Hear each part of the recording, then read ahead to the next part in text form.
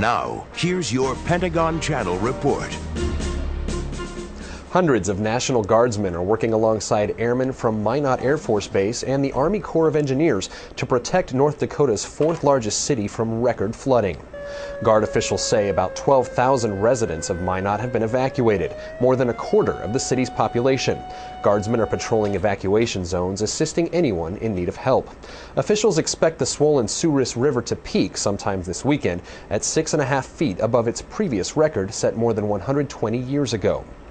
Guard choppers are also monitoring flooding on the Missouri River, where many homes are collapsing under the swift current.